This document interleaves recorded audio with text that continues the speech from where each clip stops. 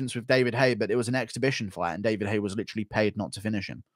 Your vid got taken down. No, it didn't get taken down. It's still up. I just saw it. Someone said that earlier, and I was shocked, but it didn't get taken down.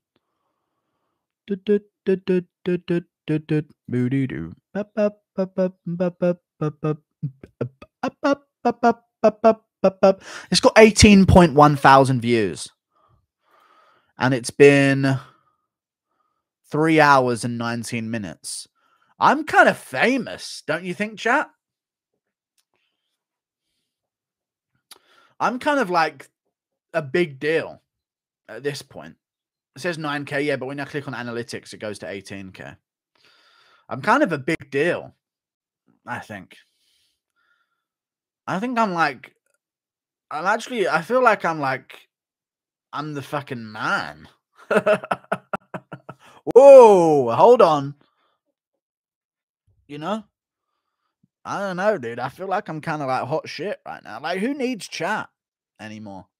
Actually, you know what? I'm not doing members today. We'll do it tomorrow and you'll deal with it. Thank you for the two dollars. Why does your chair have handles on the back? It doesn't have handles, dude. And it swivels. It doesn't have handles. Oh, really? Yeah, I don't I don't I don't think I need to do members today. My video is doing good enough, so actually, you know what? Um give me a second. Memberships, double price. We're gonna double the price of all memberships, and um you ain't gonna do shit about it.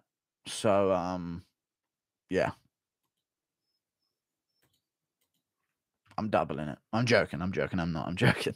I'm joking. I'm joking. Mass refund. I'm joking. Okay. I'm joking. Um okay, chill, Pacey. Jesus. My free membership is just doubled in value. I'm selling this account. No. No. Thank you for the membership, Isaiah Bournes, as McGregor would say, Burns. Burns. We're, welcome to the Beanie Cult, good sir. This guy joined after hearing me say This guy joined the membership program, hearing me threaten to scam the members. What a guy this guy is.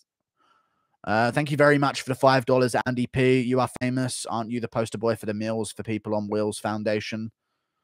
Could have sworn that was you. I'm not in a wheelchair, dude. Thank you for the five dollars, Andy P. Appalling